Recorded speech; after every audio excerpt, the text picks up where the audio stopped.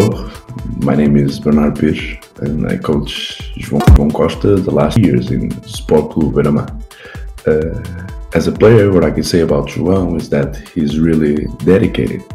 Uh, he's a hard worker uh, and he's an intelligent uh, and talented basketball player. He's a good player for every team because he's respectful, he gets along with everyone, he knows his place, uh, his focus on his hard work and his commitment on practices. I can say that with 300% uh, sure because these three years he proved a lot and he improved a lot.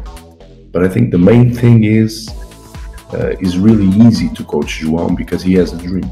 And as a coach, when you have players that have dreams, it's really, it's really, really, really easy. Sorry to to coach them because they they really want they really want to achieve some, something. They they have the will, and I think João is like that.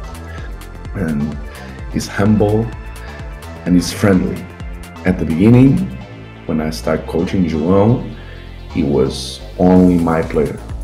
And at the end, after all these three years, I'm glad to say that now João Costa is my player or was my player and he's also my friend. So I think that's the best way to describe João Costa. Thank you.